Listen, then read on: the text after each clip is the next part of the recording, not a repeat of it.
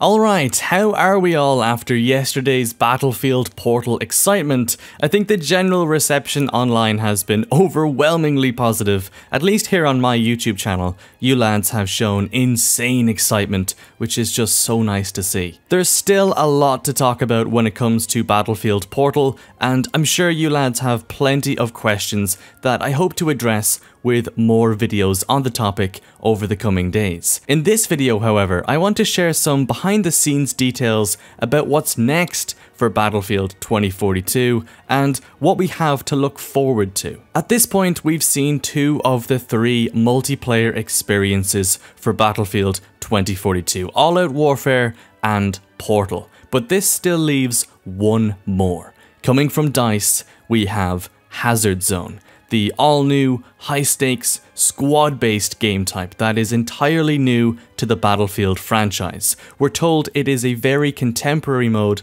and is not just another Battle Royale. This is what DICE General Manager Oskar Gabrielson had to say during one of the EA Play Live spotlight shows. And our second experience is called Hazard Zone. It's a high stakes, squad based game mode uh, with a lot of high tension. It's not your classic Battle Royale, it's a really contemporary mode.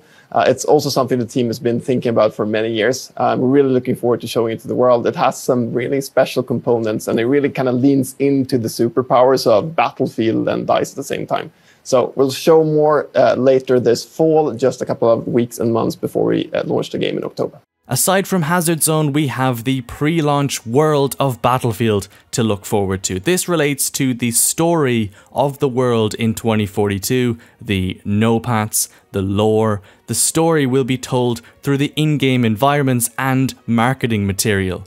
In the months leading up to launch, EA will share more about this unique world and of course, more details on the remaining unknown specialists. The launch of 2042 kicks off with Season 1 of the Battle Pass and EA has expressed that each season will deliver a new specialist, new locations, along with other new content. That's four seasons before the end of the year, meaning four new specialists. They will dive deeper into their plans for live service a little bit before launch, presumably around September. Not only that, but the open beta will also kick off in September. It will be available on all launch platforms and anyone that pre-orders will gain early access. Right now, that's all the information we have about the beta. I've spotted a screenshot floating around the Battlefield community sharing specific dates for the beta, but that is completely fake. Someone has literally gone in and